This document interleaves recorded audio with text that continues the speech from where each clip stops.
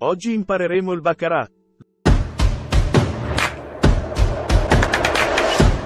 Lascia che ti dica che il baccarat è anche chiamato punto banco, baccarat chemin de fer e baccarat bank. Questo gioco è popolare in Italia, Stati Uniti, Francia e Spagna. Qui saprai come giocare a baccarat nel modo corretto. Nel primo ti dirò, baccarat, obiettivo, come scommettere, grado di carte, regole del gioco, ti dirò tutte le cose sul baccarat, in modo che tu possa giocare facilmente al baccarat. Il baccarat è un semplice gioco di indovinelli, si tratta di scommettere su quale delle due mani ti viene distribuita. L'obiettivo del gioco è avere una mano più vicina al 9 rispetto all'altra. Il baccarat è un gioco di carte da casino in cui i giocatori scommettono su quale delle due mani pensano che segnerà il punteggio più alto. Baccarat può essere giocato con un solo giocatore o fino a 14 giocatori. Hai tre opzioni quando giochi a Baccarat. I giocatori piazzano una scommessa sullo spazio del giocatore, del banchiere o del pareggio sul tavolo. La vincita per gli spazi giocatore e banco è di 1 a 1.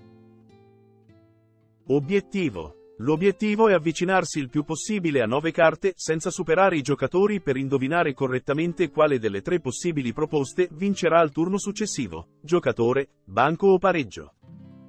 Permette di capire i valori delle carte. 9 hanno lo stesso valore nominale. 10, Jack, Regina, Re, hanno valore 0. Gioco. Una volta che ogni giocatore ha puntato, sul tavolo vengono distribuite due mani di due carte ciascuna, una per il giocatore e una per il banco. Tutti al tavolo giocano con queste due mani.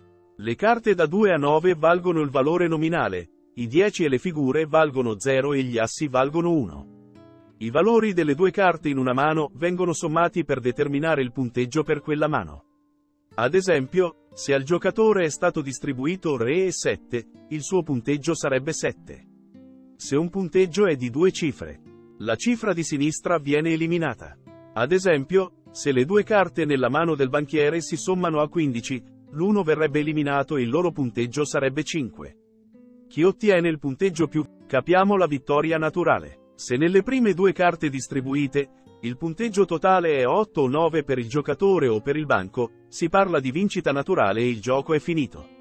Ad esempio, il totale di due carte del giocatore è 0,6 e il totale di due carte del banco è 9, quindi in questo caso il banco vince il round per vincita naturale. Regola della terza carta. Se il punteggio del giocatore è compreso tra 0 e 5, riceve una terza carta. Se il punteggio del banchiere è da 0 a 2, riceve una terza carta. Il valore della terza carta viene aggiunto al loro punteggio. Chi segna più vicino a 9 vince. Se la mano del giocatore vince, il giocatore viene pagato 1 a 1. Se la mano del banchiere vince, il giocatore viene pagato 1 a 1 meno una commissione del 5%. Se c'è un pareggio, la scommessa sul pareggio paga 8 a 1.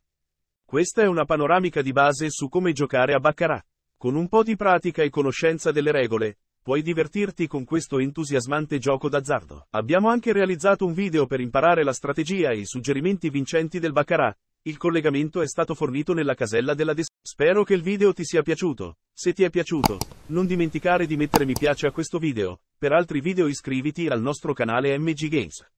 Non dimenticare di premere l'icona